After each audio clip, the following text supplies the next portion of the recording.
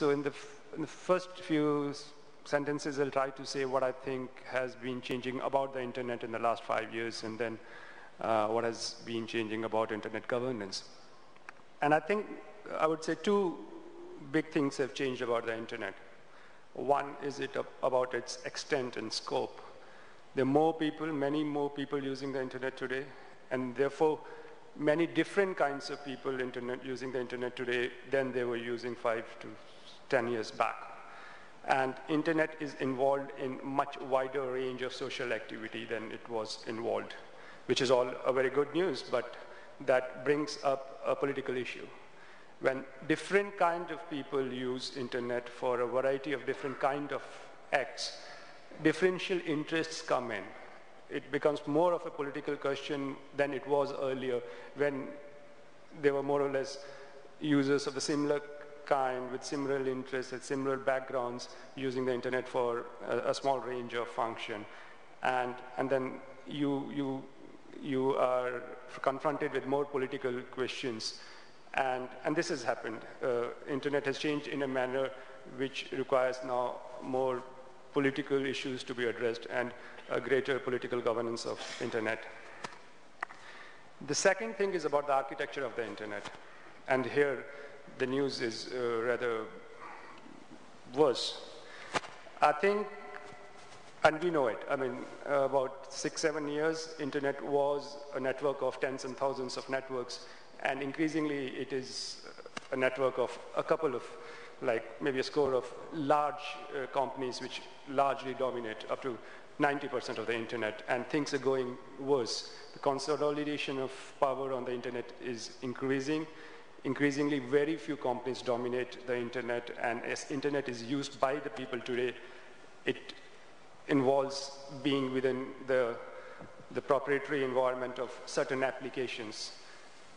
So issues like network neutrality, cloud computing, wireless internet is changing the internet in a manner that there's a consolidation of power and, and loss of diversity on the internet. And this, uh, this consolidation of power, again, needs a political response for, for the people, for the common people, to, to reduce that consolidation, to democratize power on the internet, and therefore, this second uh, kind of change which internet has gone through, again, calls for a more political response. So, uh, as you see, the two big changes which I identified about the internet over these last few years, both had one both have one thing in common, which is it requires a more political response. And then we come to the question of how internet governance has changed. Has it been able to give that political response to, to, the, to, the, to the needs that have arisen? The good news first, what has changed positively about internet governance is that national governments are more aware about the kind of issues which are involved they're able to take care of national issues in, in definitely much better way than they could do a couple of years back. At a global level as well, there's more awareness about the range of issues. People have been talking to each other. They know each other's pers perspectives better. But if we were to ask one direct question that has internet governance at the global level changed, improved, uh, I'm not very sure.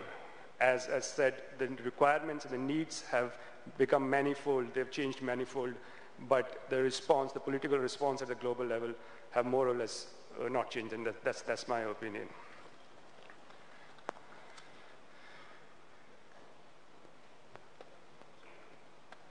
And whether, whether the themes uh, have evolved, they need to change. Uh, I think the themes have been good. They still serve the purpose, but to be more purposive, and that's also come out in many of the statements that we need more tangible outcomes. We need to start addressing more specific questions.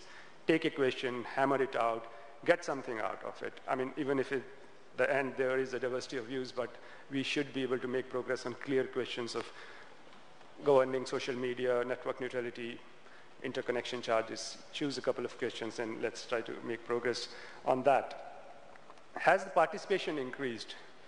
It is it has increased in one manner.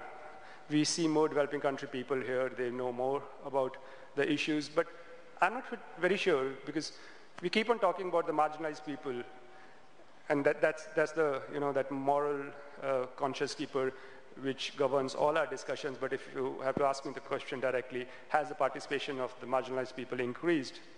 I, I don't see many, much signs of it. Marginalized people would have to be, would have to participate through representation, through governments, but through NGOs, through civil society groups, through community-based groups, which work with them, and their participation has to increase before we can say the participation has really increased. And on this, I think still we have a long, long uh, way to go. And uh, yeah, IGF is increasing participation, it's increasing awareness. The next step is to channel the kind of work we have done at IGF into real global policy making.